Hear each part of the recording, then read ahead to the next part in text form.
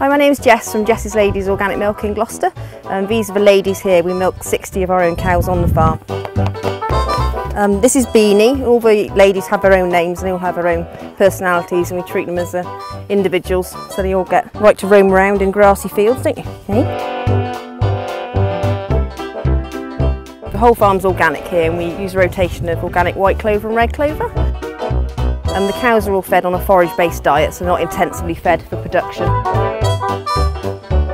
They all basically give what they give, having happy lifestyles, so they always get to go outside not shut indoors all the time and have a good, happy life.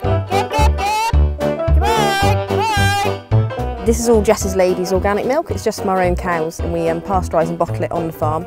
None of it's actually homogenised, so it hasn't been kind of forced at extreme pressure for a sieve to make it last longer, so it all still tastes really creamy. And we also produce lovely award-winning double cream, which is great with um, berries or anything for a pudding. The milk will basically leave the cows that morning, be bottled on site at our dairy and go straight to, to store in Cheltenham and be there for three o'clock in the afternoon. Couldn't be any fresher at all.